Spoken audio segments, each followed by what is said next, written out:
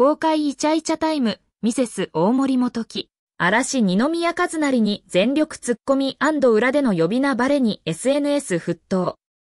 ミセスドットグリーナプルのボーカルギターを大森元木、27が19日までに X、旧ツイッターを更新。嵐二宮和成41との X 上でのやりとりが反響を呼んでいる。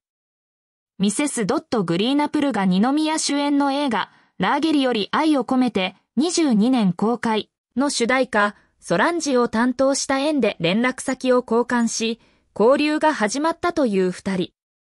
実は二人が知り合う前に、二宮さんは自身がパーソナリティを務めるラジオ、ベーストームの中で、ミセス・ドット・グリーナプルが2019年に発売したフォースアルバム内の楽曲、アティチュードをカバー。ほんとすごい好きでずっと聴いてて、と熱く語るなど、かねてよりミセスファンであること公言してきたという経緯があります。こうした背景をきっかけに、二宮さんと大森さんは順調に親交を深めてきたようで、今月16日に大森さんが行ったインスタライブの中で、二宮さんからプライベートで元木、元木と名前で呼ばれていることを告白。この内容をファンが X 上で拡散したことで、二宮さん本人の耳にも届くところになったようです。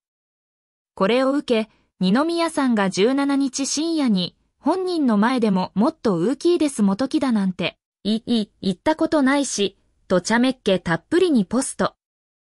さらに、その2時間後に大森さんが嘘つけーあー。と全力突っ込みのリポストを行ったことで、X 上は大盛り上がりとなりました。女性誌ライター。